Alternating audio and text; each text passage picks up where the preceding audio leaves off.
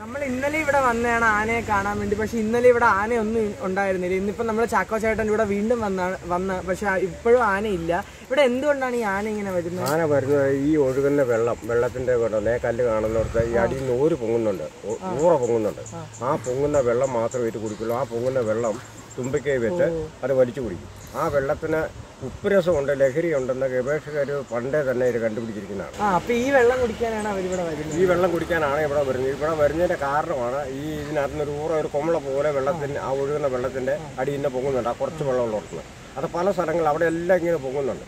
ആ ഊറ പൊങ്ങുന്ന ആ വെള്ളം ഈ തുമ്പിക്കൈ വെച്ച് ആ വെള്ളം മാത്രമേ ഇത് വലിച്ചു കുടിക്കുള്ളൂ വേറെ ഒരു തുള്ളി വെള്ളം പോലും കുടിക്കില്ല ഈ ലോകത്തിൽ എവിടെ ആനയുണ്ടെങ്കിലും ഇവിടെ വരും. ആന ഇറങ്ങി വരുന്ന വഴികളാണ്. അവർക്ക് ഇന്ന സമയമൊന്നുമില്ല. ഇപ്പം നമ്മളിവിടെ നിന്നാലും ആന നേരെ വന്ന് ഇറങ്ങും.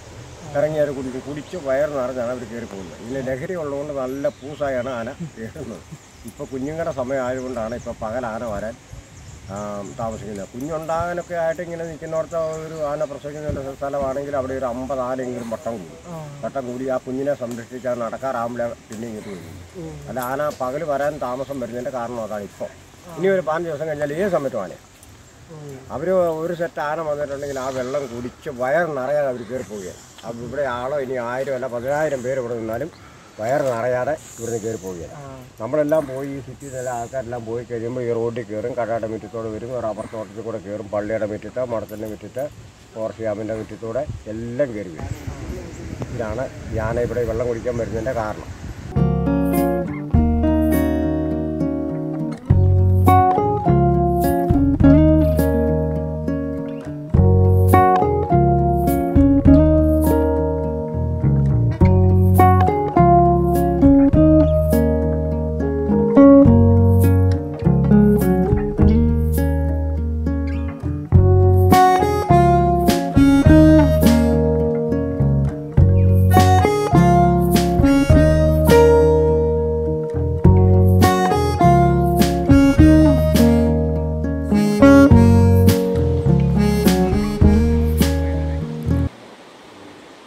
അത് ആനയെ കാണാത്തതിന്റെ വിഷമമുണ്ടോ? നല്ല വിഷമമുണ്ടായിരുന്നു. പക്ഷെ നമ്മൾ ഇന്ന് എത്ര സ്ഥലത്ത് പോയി? അപ്പൊ എനിക്ക് ഭയങ്കര ഹാപ്പിയാണ് ഞാൻ.